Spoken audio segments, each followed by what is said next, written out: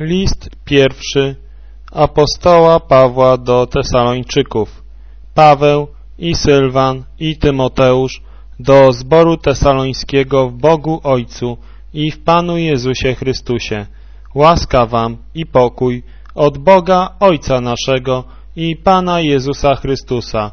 Dziękujemy Bogu zawsze za was wszystkich, wspominając was w modlitwach naszych, bez przestanku wspominając o skutecznej wierze waszej i o pracy miłości i o wytrwałości nadziei w Panu naszym Jezusie Chrystusie, przed Bogiem i Ojcem naszym, wiedząc, bracia umiłowani od Boga, o wybraniu waszym, gdyż Ewangelia nasza była u was nie w słowie tylko, ale i w mocy, i w Duchu Świętym, i we wszelkim upewnieniu, jak wiecie, jakimi byliśmy między wami z powodu was, a wyście się stali naśladowcami naszymi i pańskimi, przyjąwszy słowo w wielu uciskach z radością Ducha Świętego, tak, żeście się stali wzorem dla wszystkich wierzących w Macedonii i w Achai, albowiem od was rozgłosiło się słowo pańskie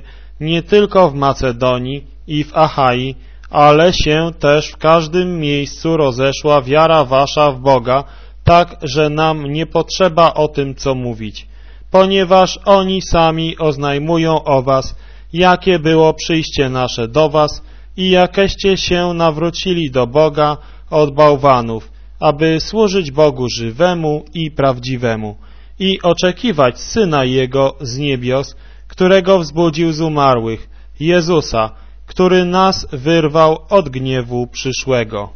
Albowiem sami wiecie, bracia, że przyjście nasze do was nie było próżne, ale chociażeśmy i przedtem, jak wiecie, cierpieli i zelżeni byli w Filipach, wszakże śmiało poczęliśmy w Bogu naszym opowiadać u was Ewangelię Bożą z wielką walką, albowiem napominanie nasze nie jest z obłędu, ani z nieczystych pobudek, ani ze zdradą, ale jak Bóg uznał nas godnymi, aby nam powierzyć Ewangelię, tak mówimy, nie aby się podobać ludziom, ale Bogu, który bada serca nasze. Albowiem nigdy nie było u nas mowy pochlebnej, jak wiecie, ani zamiarów chciwości. Bóg świadkiem. Nie szukaliśmy chwały ludzkiej, ani u was, ani u innych, mogąc być wyniosłymi, jako apostołowie Chrystusa, aleśmy byli łagodnymi pośród was, jak karmicielka pielęgnująca dziadki swoje. Tak wam życzliwymi będąc, gotowiśmy byli użyczyć wam nie tylko Ewangelii Bożej, ale i dusz swoich, dlatego, żeście się nam stali miłymi, albowiem pamiętacie, bracia, pracę naszą i trudy, gdyż w nocy i we dnie pracując, abyśmy żadnego z was nie obciążyli, opowiadaliśmy u was Ewangelię Bożą. Wyście świadkami i Bóg, jak świętobliwie i sprawiedliwie i bez nagany żyliśmy między wami, którzy wierzycie. Jakoż wiecie, żeśmy każdego z was, jak ojciec dziadki swoje, napominali i zachęcali i zaklinali, abyście postępowali godnie przed Bogiem, który was powołuje do swego królestwa i do chwały.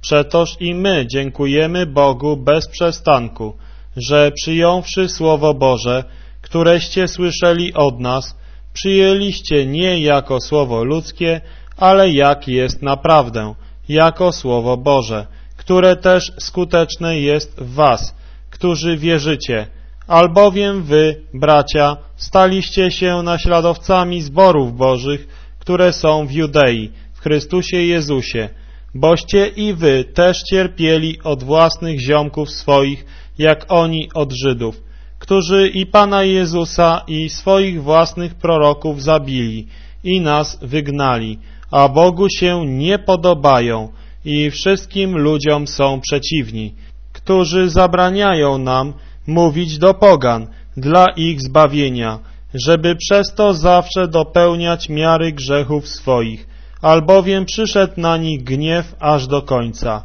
Lecz my, bracia, będąc pozbawieni was na chwilę z oblicza, a nie sercem, z tym większym upragnieniem staraliśmy się ujrzeć oblicze wasze. Dlategośmy chcieli przyjść do was, ja, Paweł, i raz, i drugi, ale nam przeszkodził szatan. Albowiem kto jest nadzieją naszą, albo radością, albo koroną chluby?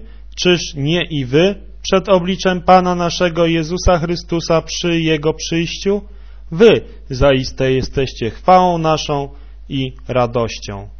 Przeto, nie mogąc dłużej znieść, postanowiliśmy pozostać w Atenach sami i posłaliśmy Tymoteusza, brata naszego i sługę Bożego i współpracownika naszego w Ewangelii Chrystusowej, aby was utwierdził i napominał pod względem wiary waszej, aby się żaden nie zachwiał w tych uciskach, gdyż sami wiecie, żeśmy na to przeznaczeni. Albowiem gdyśmy byli u was, przepowiadaliśmy wam, że będziemy uciśnieni, jak się też stało i wiecie o tym.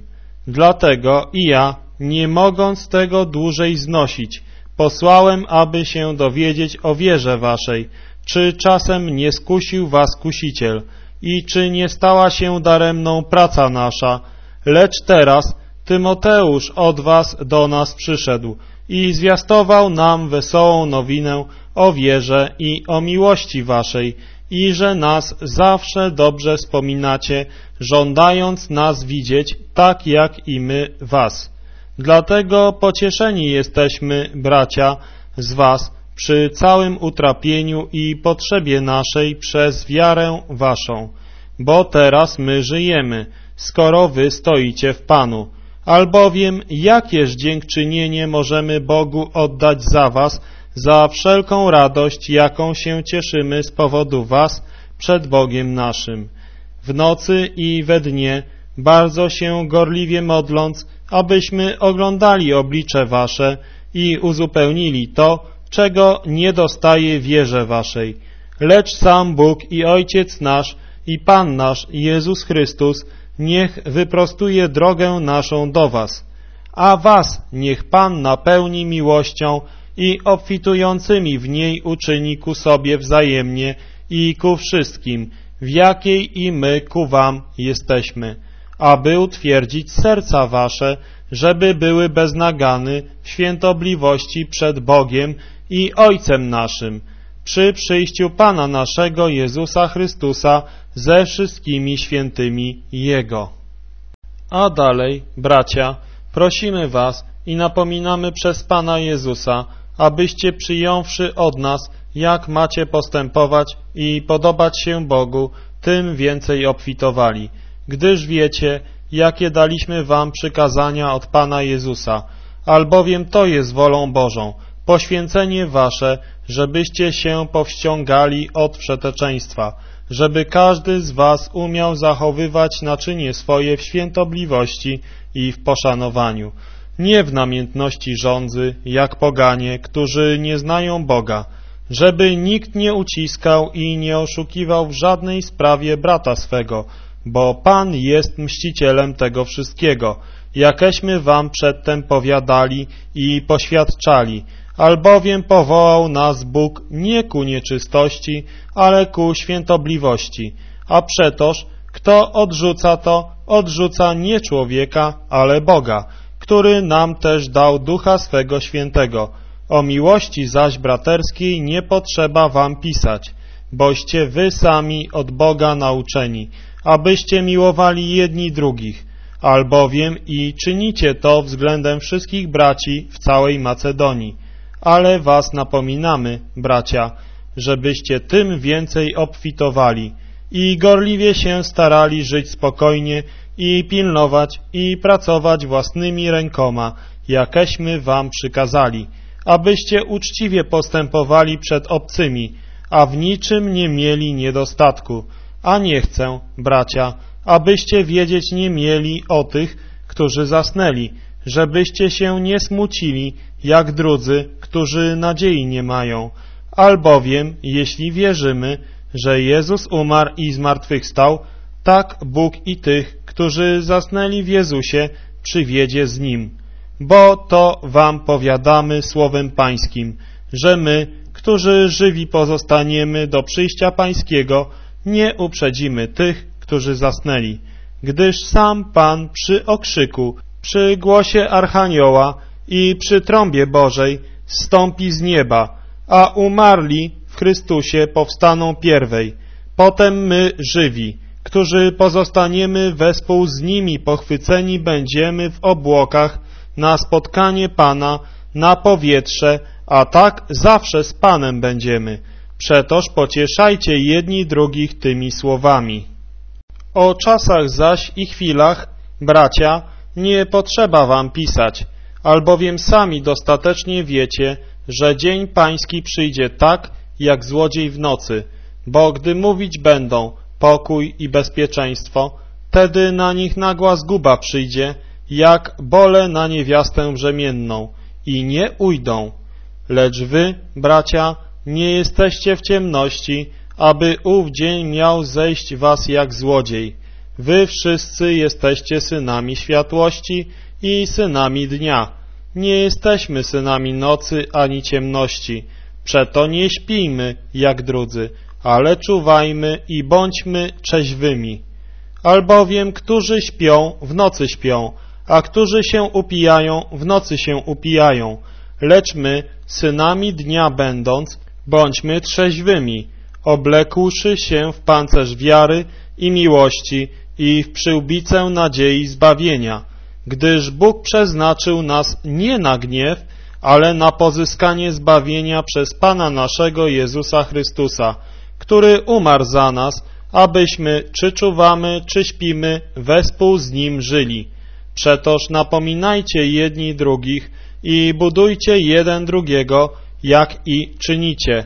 A prosimy was, bracia, abyście szanowali tych, którzy pracują między wami i którzy są przełożonymi waszymi w Panu i napominają was, abyście ich jak najbardziej miłowali dla ich pracy. Pokój zachowajcie między sobą, a prosimy was, bracia, napominajcie nieporządnych, pocieszajcie trwożliwych, podtrzymujcie słabych, cierpliwymi bądźcie względem wszystkich. Patrzcie, aby nikt nikomu złem za złe nie oddawał, ale zawsze gońcie za tym, co jest dobre i dla was wzajemnie i dla wszystkich. Zawsze się radujcie, bez przestanku się módlcie, za wszystko dziękujcie, albowiem taka jest wola Boża w Chrystusie Jezusie względem was.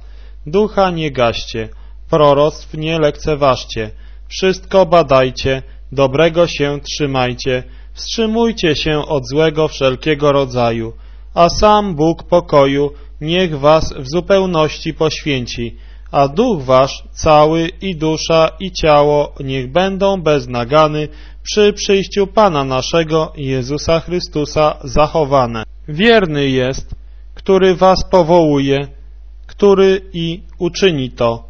Bracia, módlcie się za nas. Pozdrówcie braci wszystkich z pocałowaniem świętym. Zaklinam was na Pana, aby ten list przeczytany był wszystkim braciom świętym. Łaska Pana naszego Jezusa Chrystusa niech będzie z wami. Amen.